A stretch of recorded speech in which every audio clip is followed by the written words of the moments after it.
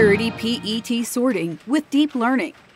Creating high purity PET fractions is becoming increasingly more important to meet regulatory and quality standards for producing recycled content.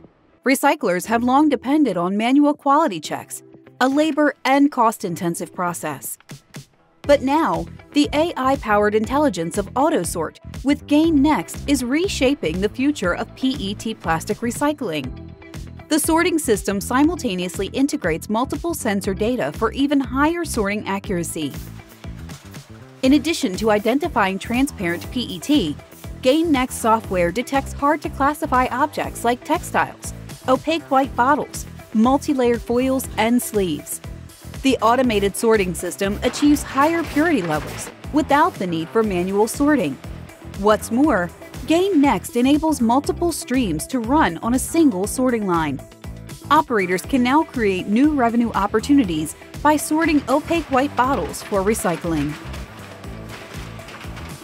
The combination of AutoSort and GainNext to process PET stream is a game changer in the recycling industry. Its deep learning object recognition makes it possible to automate sorting of hard to classify materials that traditional optical sorters struggle to achieve on their own. GainNext enhances the sorting performance of PET fractions by removing opaques, polyester textile waste and boost the hit rate of hard-to-eject sleeves and foils. The result of our PET cleaner application are impressive. Tomra understands the complexity of PET recycling and what drives our customers' success. And that's why we developed GainNext to process multiple PET stream on one sorting line. With its optional network connectivity, Tomra application engineers can connect to your machine to continually improve performance and reduce downtime.